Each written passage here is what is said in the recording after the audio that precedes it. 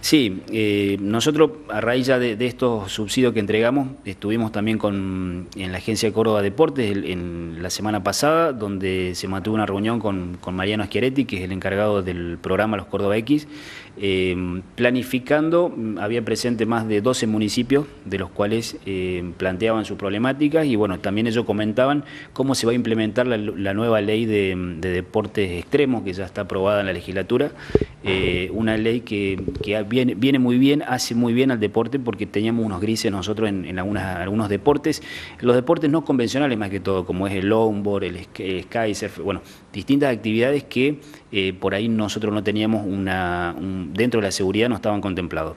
Eh, eso se trató por un lado y también se trató eh, el apoyo a las escuelitas municipales que Carlos Paz eh, en eso, bueno, vale aclararlo porque, bueno, hay una gran diferencia con otros municipios. Nosotros ya tenemos hoy más de, 10 escuelitas municipales que están funcionando y que ya han largado algunos referentes en, esas disciplinas. Así que em, se habló de eso, del apoyo que va a tener la Agencia Córdoba, particularmente el programa Córdoba X, eh, a las distintas escuelas eh, municipales que inicia la ciudad. Teniendo en cuenta esta ley también y lo de las escuelas municipales, ¿hay posibilidad de que se implementen nuevas disciplinas en este sentido? Sí, si nosotros ya estamos en carpeta para, iniciar lo que va a ser la de tenis, que si bien no está dentro de lo que son deportes extremos, pero sí dentro del programa de escuelas nuestras.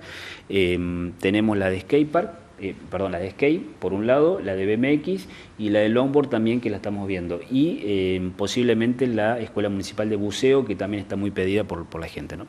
Sí, el día miércoles hacemos una entrega de mm, tradicional de subsidios de transporte que hacemos a todas las instituciones deportivas. Em, este año eh, se hizo una valoración con promedios que van de 60 mil a 100 mil pesos por institución. Es un monto que obviamente se mm, se crece por en cuenta del precio del combustible, ¿no?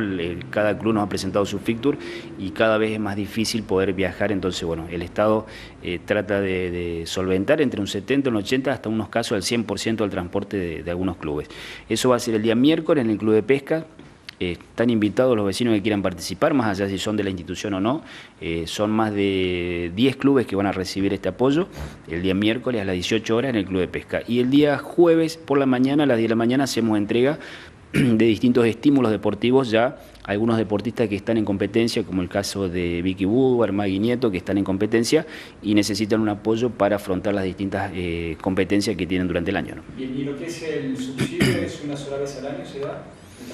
No, son eh, por semestre, son en dos semestres nosotros entregamos un monto que, eh, como te digo, algunos eh, con ese monto ya pueden organizarse en todo lo que va del año y otros no, cubren entre un 60 y un 70% del transporte. Esto es muy necesario para las instituciones. ¿no?